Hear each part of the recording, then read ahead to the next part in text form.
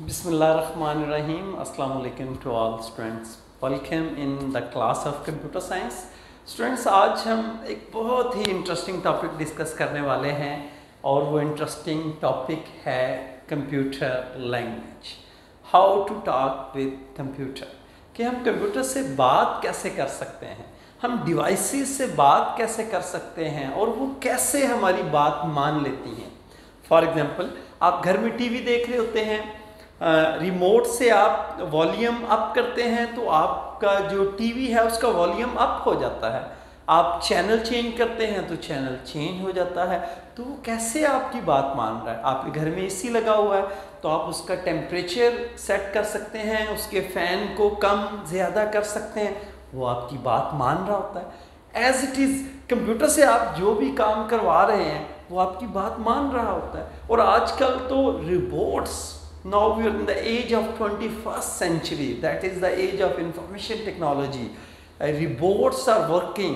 Uh, robots has been replaced the humans.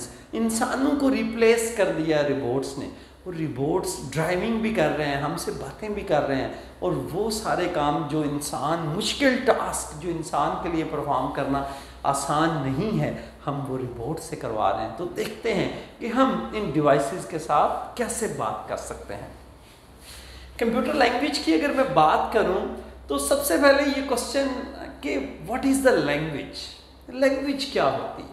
Language is the way of communication किसी से बात करने का ज़रिया। किसी से भी मुझे बात करनी है तो उसकी लैंग्वेज आना ज़रूरी है।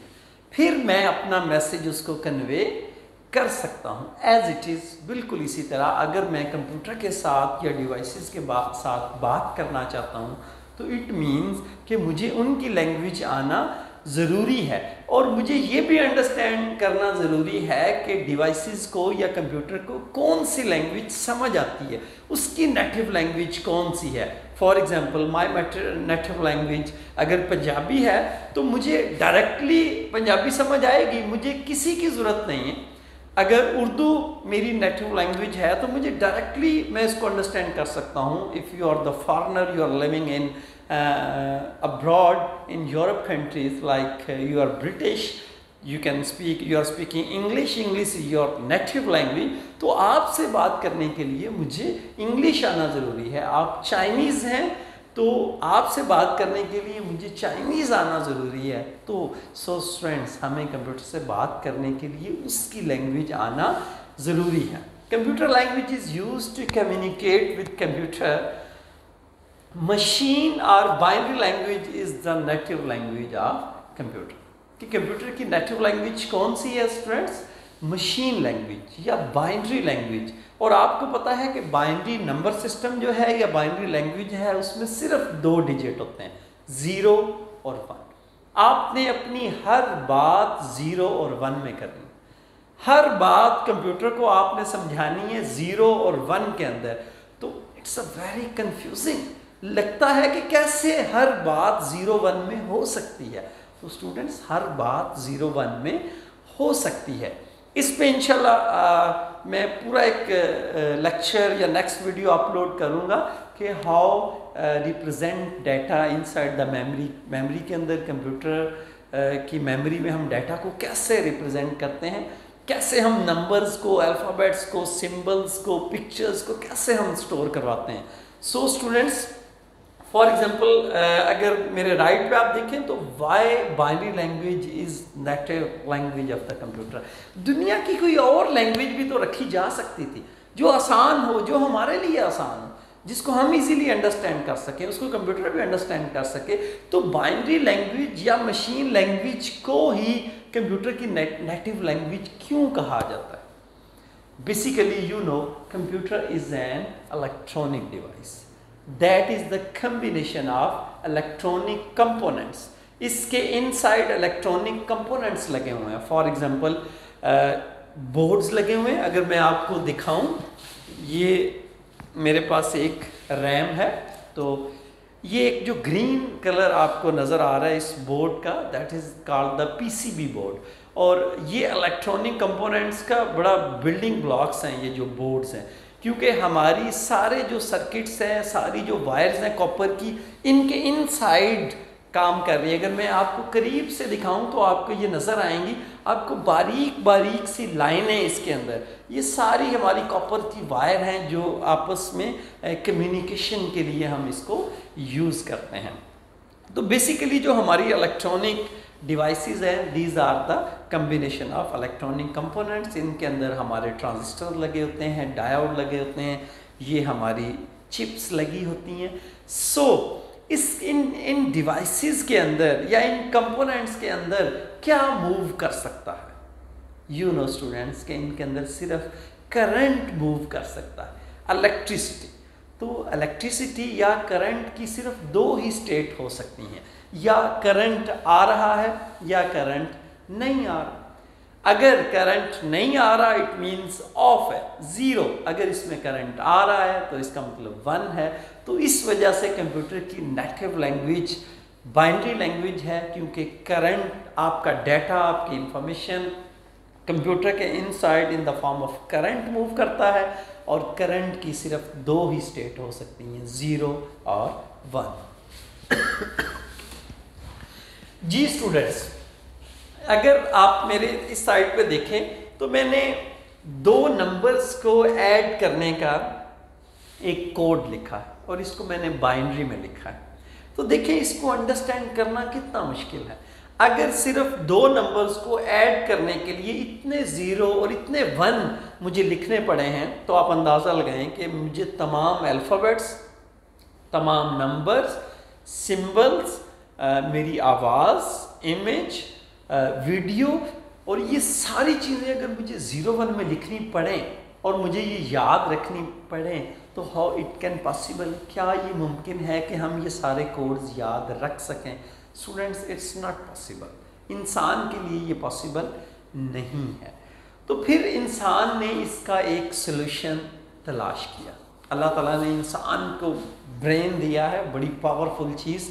और इस वक्त देखें इंसान हवाओं में उड़ रहा है उसने आसमानों को छू लिया है और मुख्तलिफ़ सियारों पे वो बसने का सोच रहा है। Only with the help of this mind और अभी तक हमने इस माइंड का जस्ट टेन परसेंट यूज़ किया। बाकी नाइन्टी परसेंट यूज़ नहीं किया। तो आप अंदाज़ा लगाएँ कि अल्लाह ताला ने इंसान को कितनी बड़ी नेमत से नवाजा। सो so, स्टूडेंट्स बात को हम आगे बढ़ाते हैं। ये हमारे लिए प्रॉब्लम था। हम ये कोड्स लर्न नहीं कर सकते। इसका सोल्यूशन हमने क्या निकाला? आम लाइफ की अगर हम बात करें तो अगर कोई चाइनीज़ हमारे कंट्री में आ जाता है और वो हमसे बात करना चाहता है, उसको हमारी लैंग्वेज नहीं आती और हमें उसकी लैंग्वेज नहीं आती। तो फिर हम क्या करते हैं कि क्या ऐसा वे इख्तियार करते हैं? फॉर एग्ज़ाम्पल जो फॉरेनर्स पाकिस्तान के अंदर आते हैं विज़िट के लिए चाइनीज़ आते हैं जैपनीज़ आते हैं अदर कंट्रीज़ जो इंग्लिश लैंग्वेज वाले हैं तो उनकी लैंग्वेज तो नॉर्मली यहाँ पे इंग्लिश काफ़ी लोगों को आती है क्योंकि इंग्लिश इंटरनेशनल लैंग्वेज है, लेकिन चाइनीज़ जैपनीज़ या अदर डिफरेंट लैंग्वेजेस जो इंटरनेशनल जो पूरी दुनिया में नहीं बोली जाती, वो मसला है।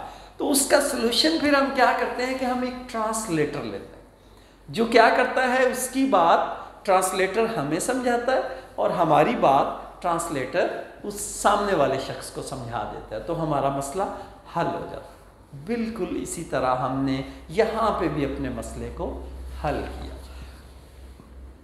हमने डिफरेंट प्रोग्रामिंग लैंग्वेजेस को इंट्रोड्यूस करवाया और these languages are called high level languages that are very close to human being language just like English हमने हाई लेवल लैंग्वेजेस को इंट्रोड्यूस करवाया और वो ऐसे ही हैं जैसे इंग्लिश में हम कुछ लिख रहे होते हैं। और फिर हमने कंप्यूटर से बात करने के लिए जो तरीका अपनाया कि हम अपना प्रोग्राम हाई लेवल लैंग्वेज के अंदर लिख के हमने एक ऐसा ट्रांसलेटर एक सॉफ्टवेयर डिज़ाइन किया जो हमारी उस लैंग्वेज को अंडरस्टैंड करे और उसको कन्वर्ट कर दे मशीन लैंग्वेज के अंदर, जो कंप्यूटर को समझ आ जाए तो हमारा मसला हल हो गया। तो चलते हैं हम प्रोग्रामिंग लैंग्वेजेस की तरफ़। प्रोग्रामिंग लैंग्वेजेस मींस कि ऐसी लैंग्वेजेस जिनसे हम कंप्यूटर प्रोग्राम लिखते हैं। या कंप्यूटर का सॉफ्टवेयर बनाते हैं जिनसे हम इनको हमने दो हिस्सों में डिवाइड किया। One is low level and second is high level तो जो मशीन लैंग्वेज या बाइनरी लैंग्वेज है हमने उसको लो लेवल लैंग्वेज का नाम दे दिया जो कंप्यूटर की मदर uh, लैंग्वेज है या उसकी नेटिव लैंग्वेज है। और सेकंड हमने हाई लेवल लैंग्वेज को इंट्रोड्यूस करवाया, ऐसी languages that are very close to human being language ये बिल्कुल ऐसी ही लैंग्वेज है जैसे हम इंग्लिश बोलते हैं, इसको हम इजीली अंडरस्टैंड कर सकते हैं। तो डिफरेंट हाई लेवल लैंग्वेजेस के नाम स्टूडेंट्स टेंथ क्लास के अंदर आप बेसिक लैंग्वेज पढ़ते हैं उसके बाद फ़र्स्ट ईयर में आप सी लैंग्वेज पढ़ते हैं, उसके बाद आप जैसे जैसे ऊपर क्लासेस में जाते जाएँगे नेक्स्ट हायर क्लासेस के अंदर आप सी प्लस प्लस पढ़ेंगे, आप जावा पढ़ेंगे, आप पीएचपी पढ़ेंगे और आप आज की लेटेस्ट लैंग्वेज जैसे पाइथन है, वो पढ़ेंगे। तो these are the high level languages अब मैं आपको ये भी बता दूँ कि इन हाई लेवल लैंग्वेजेस के अंदर हम प्रोग्राम लिखते कैसे हैं। स्टूडेंट्स ये देखें मैंने इसको बेसिक लैंग्वेज के अंदर एक प्रोग्राम लिखा लिखा है कि how to add two numbers कि कैसे हम दो नंबर्स को ऐड कर सकते हैं। तो मैंने क्या किया? सी एल एस इसका मतलब है स्क्रीन को क्लियर कर दो। मैंने एक वेरिएबल लिया ए और उसको वैल्यू दे दी टेन उसके बाद मैंने एक वेरिएबल लिया बी और उसको वैल्यू दे दी टेन उसके बाद मैंने क्या किया? इन दोनों को ऐड किया और आंसर किसको मिल गया? सी को। मैंने उस सी को प्रिंट करवा लिया और इस प्रोग्राम को एंड कर लिया आप देखें कि ये आपको कंप्यूटर लैंग्वेज नहीं आती। लेकिन आपको भी आसानी से समझ आ रहा है कि ये क्या हो रहा है। दो नंबर्स को ऐड कर रहे हैं और ये कोड किस लैंग्वेज के अंदर हमने लिखा है? बेसिक लैंग्वेज के अंदर। जब यही कोड हम कंप्यूटर को समझाना चाहेंगे तो हमारा translator that is also also called a software वो भी एक सॉफ्टवेयर उसको हाई लेवल लैंग्वेज भी आती है उसको लो लेवल लैंग्वेज भी आती है। तो क्या करेगा? हमारे हाई लेवल लैंग्वेज के कोड को कन्वर्ट कर देगा बाइंड्री कोड में। जो कंप्यूटर अंडरस्टैंड कर लेगा और फिर जो कंप्यूटर आंसर देगा वो दोबारा हमें हमारी लैंग्वेज में उसका आंसर समझा देगा तो हमारा मसला हल हो गया।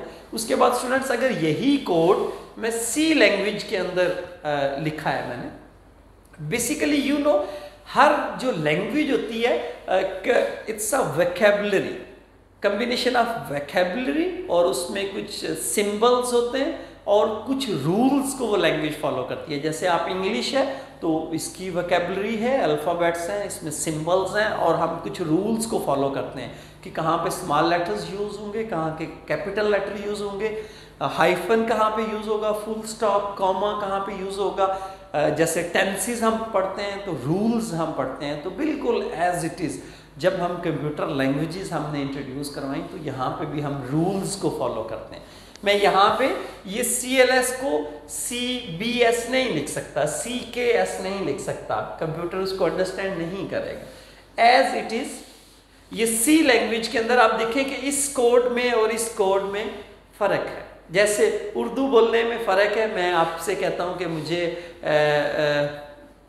यहाँ पे आओ प्लीज़ यहाँ पर आओ।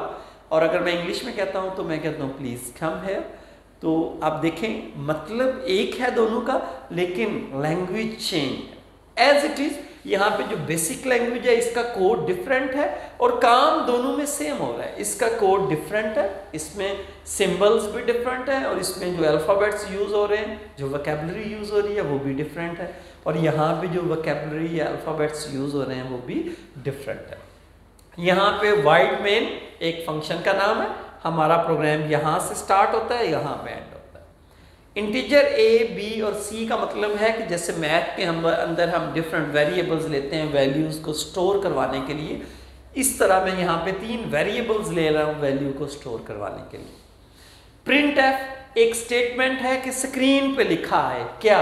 एंटर ए उसके बाद मैं ए में जो भी वैल्यू दूँगा स्कैन अप इसका ये मतलब है कि वो वैल्यू दे दो ए को।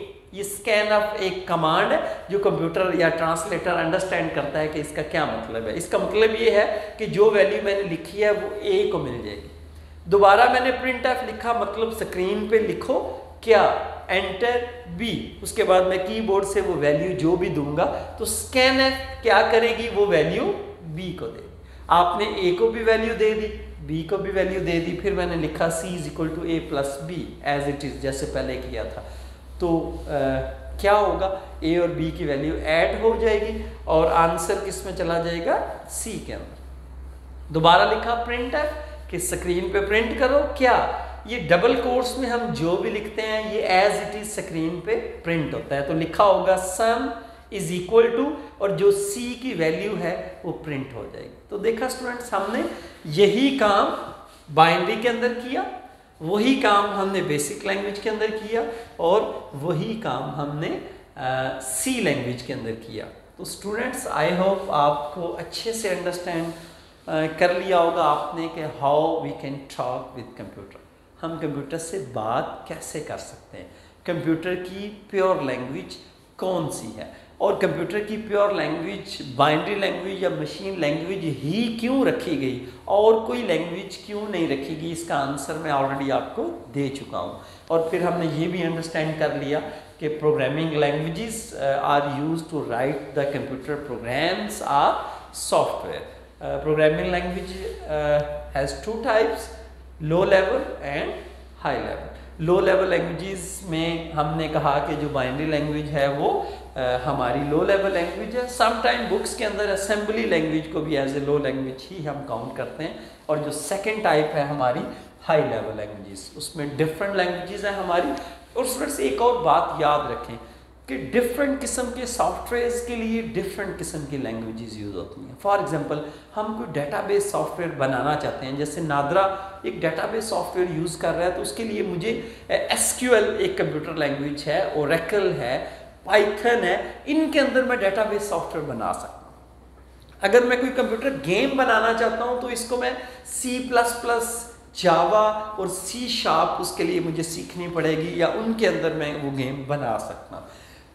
इसी तरह अगर मैं कोई मोबाइल की एप्लीकेशन बनाना चाहता हूँ तो उसके लिए स्टूडेंट्स मुझे जावा पाइथन या सी शार्प का आना ज़रूरी है। इस तरह अगर मैं कोई वेबसाइट क्रिएट करना चाहता हूँ, जैसे आप गूगल की वेबसाइट देखते हैं या और डिफरेंट वेबसाइट देखते हैं तो उसमें जो सबसे आसान लैंग्वेज है, जैसे H T M L D H T M L है सी एस एस है, और अगर थोड़ा एडवांस लेवल की बात करें तो P H P Java script इनको हम यूज़ करते हैं वेबसाइट क्रिएट करने के लिए। तो आई होप कि कंप्यूटर लैंग्वेजेस को स्टूडेंट्स आपने अच्छे से अंडरस्टैंड कर लिया होगा और ये आपके लिए बड़ा इफ़ेक्टिव लेक्चर साबित होगा इन सो थैंक यू मिलते हैं अगले लेक्चर में, तब तक के लिए अल्लाह हाफिज़।